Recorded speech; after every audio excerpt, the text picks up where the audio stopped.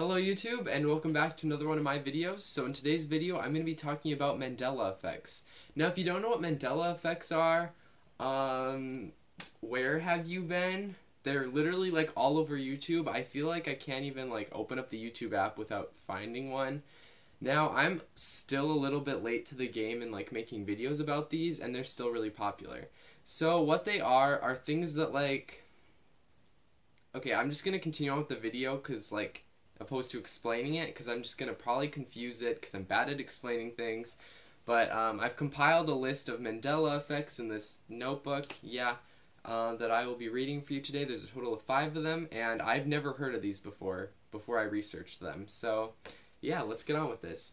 So the first one is um, Oscar Mayer Wieners. Now, I honestly thought that this was spelt, okay, so like Oscar spelled normal, O-S-C-A-R, and then the Meyer, M E Y E R, but it's actually spelt. So like Oscar is still spelt the same, but then Meyer in like the first E, it's M A Y E R. Which like that's such a weird way to spell Meyer. Like I'm like picturing the package in my head, and like I know that it says. Like that it's spelt the way that I thought it was, but I guess it isn't.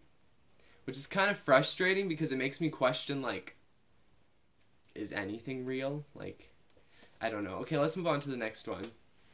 So the song We Are the Champions, everyone, including me, thinks that it ends in um, of the world, like we are the champions of the world or whatever. I don't know how to sing, but it actually doesn't. Like that was never a part of the song. I mean, obviously like it's said in the song, I think, at one point, but that's not how the song ends.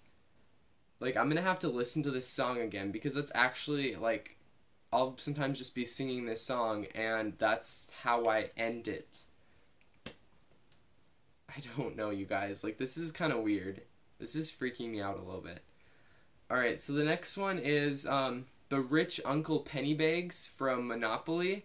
So, like, obviously Monopoly is kind of an older game, and people of, like, a different time period, I guess you could say, that were rich, like, wore monocles, I guess and rich Uncle Pennybags doesn't have a monocle. Like it showed me a picture and the monocle looks like that looks right to me.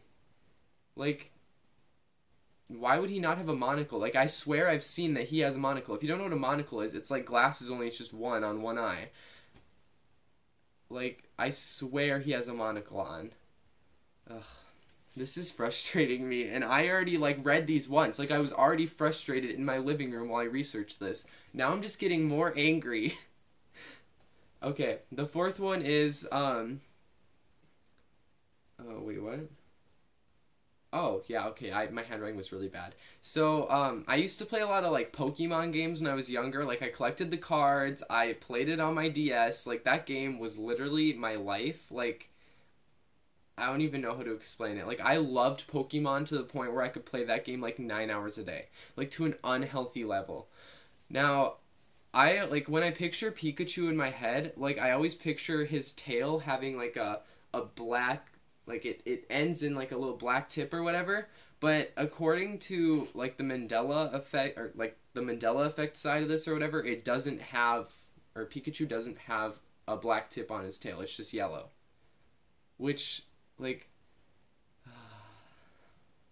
I knew that game well. I played that game so often. I had like five Pikachus. I don't know how to feel about this anymore. Also, I'm using a light right now and it's making my face look really oily, but like the lighting's good, so we're just gonna go with that, okay? Sorry. Sorry. Now for the last one, which, like, this one is unbelievable. This is probably the craziest one of all the ones that I've told you about. So, we all know, even if you're not a Star Wars fan, you know the famous scene where Darth Vader says, Luke, I am your father. I even heard Big Bang Theory, which if you don't know what that show is, there's a bunch of nerds on there that they're physicists or whatever, and they like love comics and whatnot, and Star Wars and Star Trek, all that stuff. And they quoted it in the show, Luke, I am your father. Like, I remember hearing that from one of the characters about something, like, well, they were at Comic Con or something. I don't even know. But it's actually, no, I am your father. So instead of saying Luke, Darth Vader says no. which like that that's just disgustingly wrong. Like that doesn't seem right. You know, it seems like if you're dying, you should say your son's name not no. I'm your father. I don't even know anymore, okay? Like that Mandela effects frustrate me like a lot because like when you think about them, you realize how true they are, but I did not believe that that stuff was real right away. Like I actually had to go and research this stuff and make sure that this website wasn't lying. I don't I don't know anymore. Okay, I'm just going to end this video. I really liked doing this, so I'm probably going to do more in the near future. So give this a thumbs up if you liked hearing about crazy stuff in this world, other known as Mandela effects. Um, subscribe if you're new here, and comment if you were shook by any of these, because I definitely was. So, thank you. Bye-bye. Peace out.